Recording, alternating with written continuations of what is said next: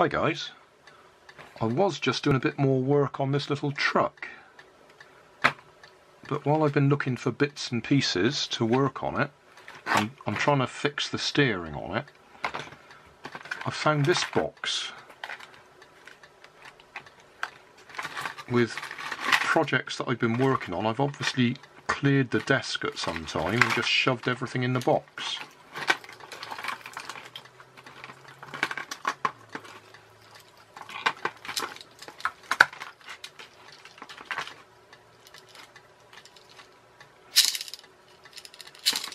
Clockwork motor.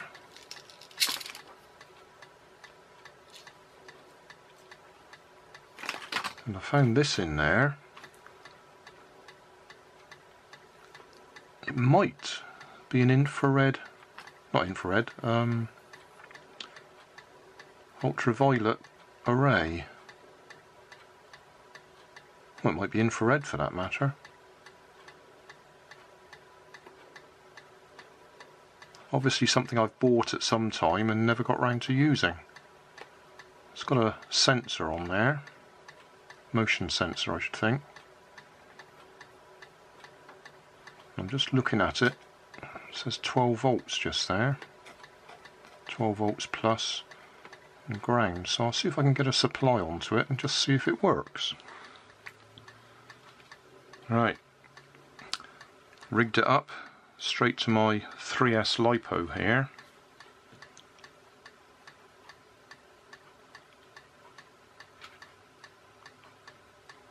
If can see, probably have to put the light out so we can see that it's coming on. I'm covering over the sensor. Let's turn the light out. And the other light.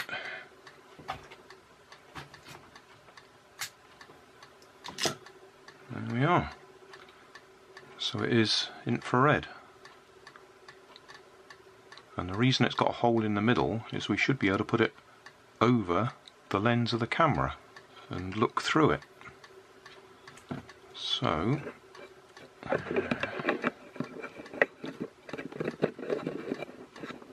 we are. We're looking through at my hand at the moment, or my fingers. Looking at my desk now. I haven't got much of a range. If I pull back a bit, mm, we can't see very much. Although maybe if I adjust the camera it'd be better.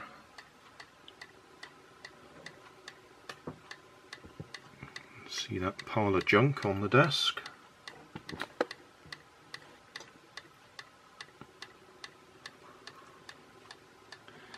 So I think I originally bought it with the idea of using it for some sort of security camera.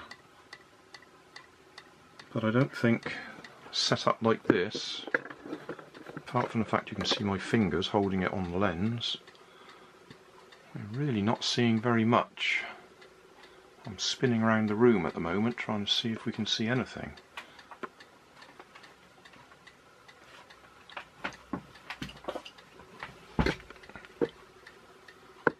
That's the blinds on the window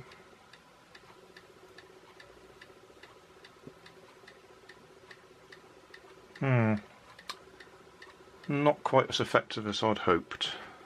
So, I don't know. I don't think that's good enough for a security light, but I may not be giving it enough voltage.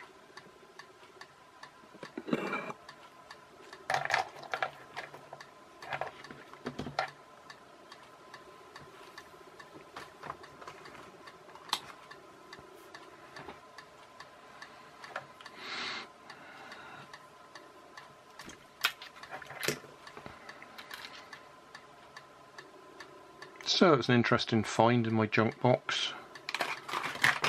There's quite a few projects there that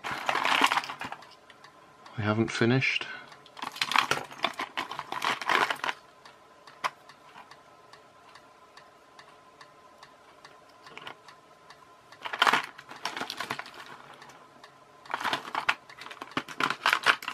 Enough of a sidetrack, I better get back to what I was doing.